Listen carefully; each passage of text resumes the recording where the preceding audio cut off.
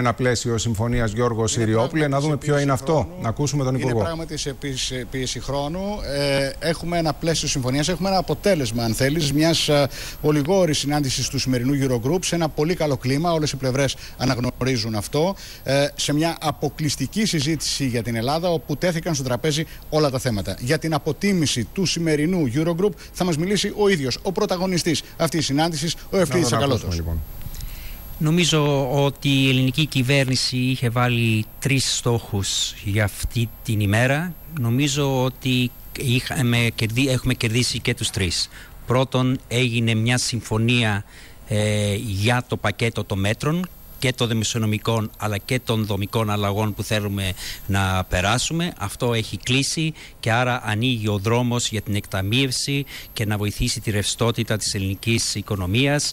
Ε, χρειάζονται βέβαια να ψηφίσουμε και τα προαπαιτούμενα, αλλά αυτό το, αυτό, αυτό το σκέλος έχει τελειώσει. Δεύτερον, ε, κερδίσαμε ότι θα γίνει η συζήτηση για το μηχανισμό ε, και όχι για την υποαίρεση μέτρων και αυτό θα συνεχιστεί και τρίτον έγινε μια πολύ σοβαρή συζήτηση για το χρέος. Αποφασίστηκε ότι η Ελλάδα χρειάζεται κάποια μέτρα που θα πάρθουν ε, βραχυπρόθεσμα, κάποια μέτρα που θα πάρθουν μέσο πρόθεσμα και κάποια μέτρα που θα πάρθουν ε, μακροπρόθεσμα. Αυτά όλα μαζί νομίζω θα συγκλίνουν στις 24 Μαΐου στο Eurogroup που θα έχουμε μια ολική εικόνα για πώς προχωράμε. Κύριε Υπουργέ, ποια είναι τα αμέσως επόμενα βήματα μέχρι τις 24 Μαΐου έτσι ώστε να καταλήξουμε σε μια οριστική και γενική συμφωνία; Όπως σας είπα, το πρώτο κομμάτι έχει τελειώσει. Εξαιρετικό. Τη συμφωνία και για τα δημοσιονομικά και για τα δομικά μέτρα. Άρα θα υπάρχουν κάποιες συζητήσεις στο επίπεδο του Euro Working Group για πώς θα εξειδικεύσουμε το μηχανισμό. Αλλά είναι πολύ μικρή συζήτηση, μιλάμε για λεπτομέρειες και θα υπάρχει μια πιο μεγάλη συζήτηση για πώς θα γεμίσουμε τα κουτάκια για το χρέος, τι πρέπει να γίνει βραχυπρόθεσμα, τι θα γίνει μεσοπρόθεσμα και τι θα γίνει μακροπρόθεσμα. Θα γίνει μια συζήτηση. Βεβαίως Βεβαίω υπάρχουν διαφωνίες, ειδικά για το θέμα του χρέους. Μερικά κράτη-μέλη είναι πιο επιφυλακτικά. Το Δουνουτού είναι πιο επιθετικό ότι χρειάζεται η Ελλάδα μεγαλύτερη ελάφρυνση. Αλλά νομίζω σήμερα βγήκε ένα γενικό κλίμα ότι όλες οι πλευρές θέλουν να υπάρχει λύση μέχρι τις 24 ε, Μαΐου.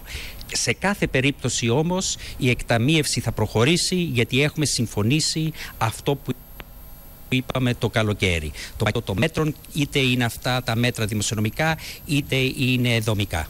Σε ό,τι αφορά την εκταμείευση, γιατί πόσο μιλάμε πλέον, έχει αυτό προσδιοριστεί; Αυτό θα γίνει και αυτό συζήτηση στο Euro Working Group και θα γίνει πρόταση από το Euro Working Group στο Eurogroup 24 Μαΐου αλλά σε κάθε περίπτωση θα υπάρχει και εκταμείευση για να ξεπληρώσουμε τους πιστωτές μας αλλά και εκταμείευση για τα ληξιπρόθεσμα για να μπει ζεστό χρήμα στην αγορά και αυτό θα αντισταθμίσει αν θέλετε κάποια από τα αρνητικά σημεία του πακέτου του δημοσιονομικού που δημιουργεί ύφεση. Αυτό θα προσπαθήσουμε να πιέσουμε για όσο περισσότερη μεγάλη εκταμίευση για, τις, ε, για τα ληξιπρόθεσμα για να μπορέσει η οικονομία να πάρει μπρος. Και θα πάρει μπρος αν θα πάρει μπρος επειδή έγινε μια συζήτηση για το χρέος. Για πρώτη φορά νομίζω οι οικονομικοί ιδρόντες είτε αυτοί είναι καταναλωτές που θέλουν να καταναλώσουν είτε αυτοί είναι αποταμιευτές που θέλουν να βάλουν τα λεφτά τους πίσω στην τράπεζα, είτε αυτοί είναι επενδυτές, θα έχουν με τη συζήτηση που γίνεται για το χρέος ένα καθαρό διάδρομο πώς η Ελλάδα θα ξεφύγει από αυτή την κρίση. Κύριε Υπουργέ, σας ευχαριστούμε. Εγώ σας ευχαριστώ. Ήταν λοιπόν πάνω χαρίτο κοντά Σε κάθε περίπτωση, αυτό το οποίο γίνεται σαφές είναι ότι η 24η του Μάη